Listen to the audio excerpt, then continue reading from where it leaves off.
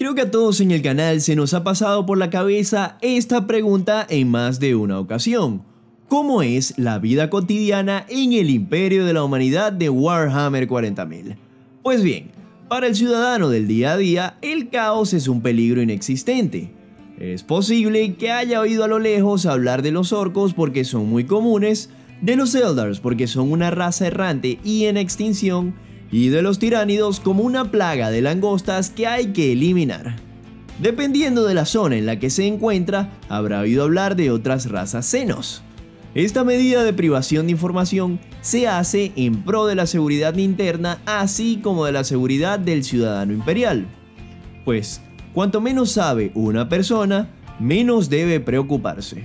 Es más, es muy común que un ciudadano imperial nunca se entere de lo que pase en un tercio de la galaxia. Nunca vea una criatura senos o incluso dude de la existencia de los marines espaciales, pues para ellos son solo una leyenda. Pero lo que sí sabe un ciudadano imperial es lo siguiente. 1. El imperio domina la galaxia. 2.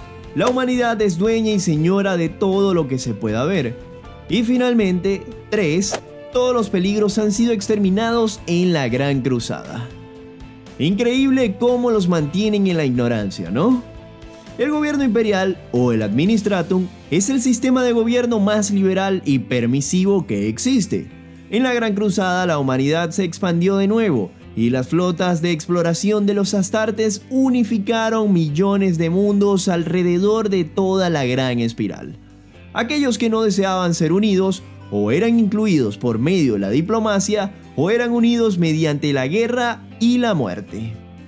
Aquellos que se unían de buen grado podían entonces preservar su cultura, sus castas, sus costumbres y sus rituales. Para los ciudadanos normales nada ha cambiado, solo que ahora su señor es el emperador. A cambio de unirse, el imperio otorgaba mejoras militares de alta tecnología, alimentos, arquitectura imperial, naves, maquinarias y también en su debido momento armamento y defensa. La idea principal del imperio es que cada mundo fuese autosuficiente.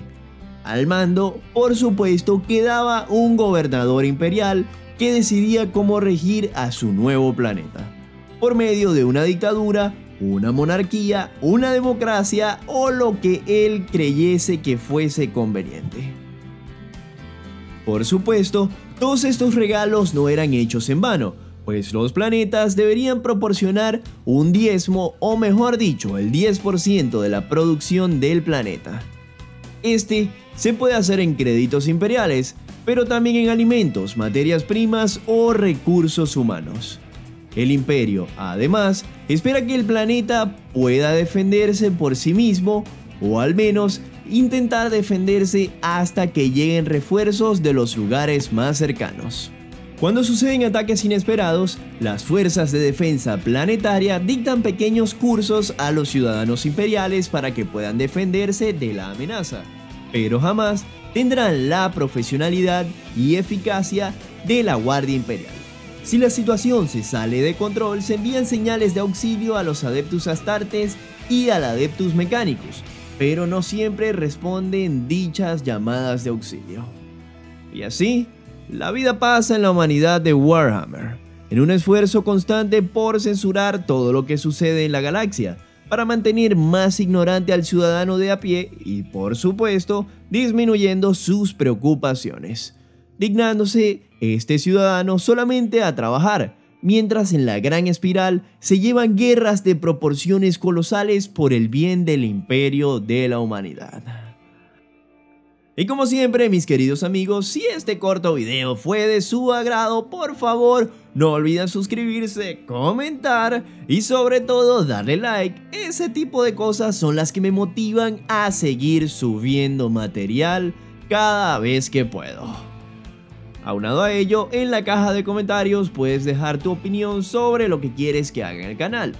Un video de trasfondo, un gameplay o una crítica hacia algo. Esto ha sido el Rincón de Marco y nos vemos en la próxima ocasión.